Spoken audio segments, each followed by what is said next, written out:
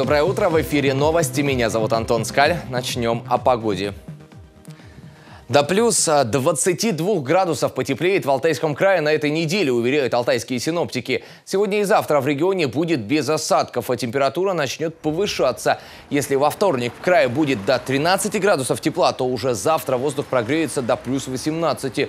По утрам и ночью будет скользко, говорят метеорологи. Юго-восточный ветер усилится к четвергу. Кстати, именно 2 ноября столбики термометров перевалят за 20-градусную отметку, плюс 22 градуса ожидается в южных районах. Вместе с почти летним теплом в край вернутся и дожди. Комната волшебства появилась в одной из школ зонального района. Сухой бассейн, настоящий дождь и, конечно же, звезды. В школе села Соколова появилась комната для сенсорных, сенсорных и спортивных занятий для особенных детей. Подробности у Дмитрия Будкова. Комната, в которой живет настоящее волшебство. Здесь шумит гром и идет дождь. А сидя на мягком пуфике, так и хочется помечтать, смотря на звезды или на сотни пузырьков разных цветов. Второклассник Коля Ивдовин приходит сюда каждый день. Занятия в сенсорной комнате одни из любимых в школе. И они точно не скучные. Какие ты еще цвета видишь? Красный цвет. Это какой? Синий, да? Больше похож на синий. Это? Это желтый. Желтый. А это вот прям лимонно такой желтый, да? Чтобы переоборудовать комнату для детей с ограниченными возможностями здоровья, три года назад руководство школы села Соколова подготовило необходимый пакет документов. Уже в 2015-м ее включили в федеральную программу «Доступная среда». На выделенные средства здесь переоборудовали крыльцо, установили пандусы и закупили оборудование в сенсорную и спортивную комнаты. На строительство было 820 тысяч, а на покупку, на приобретение оборудования 825 тысяч. Занятия проводятся у нас как индивидуальные, так и групповые, то есть формируются, если это а, занятия лечебной физкультуры, то есть э, дается рекомендация доктора. На достигнутом в зональном районе не остановились. Уже два года в селе Соколова работает музыкально-кластерный класс.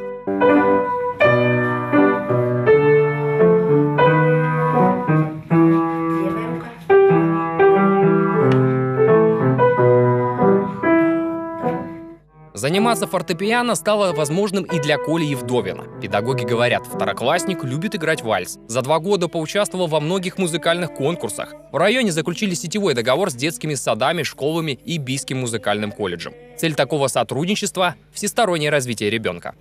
Программа общая для всех детей. И мы даже обращаем внимание на то, что они не очень сильно и отстают. Но, естественно, они развиваются вот на индивидуальных занятиях в своем ритме. Для них создали индивидуальные условия.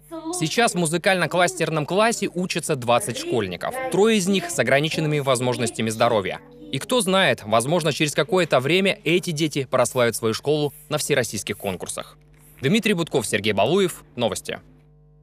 Будущий агроном представит Алтайский край на конкурсе «Краса студенчества России». Она написала гимн студенческих отрядов вузов Минсельхоза. Подробности в сюжете Анжелики Келлер.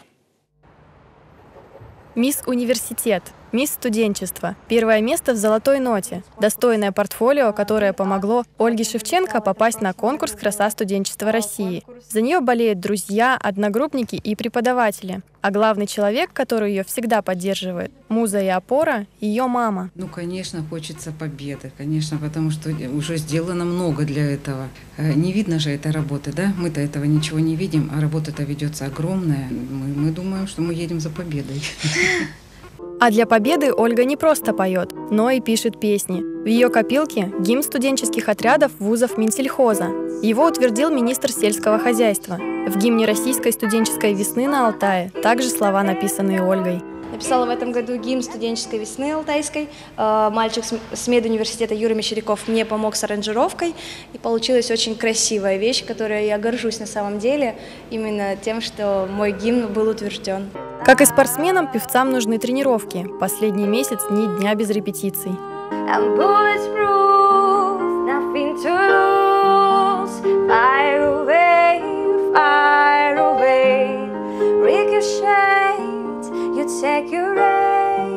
Ольга не просто красавица, но и умница, студентка аграрного университета.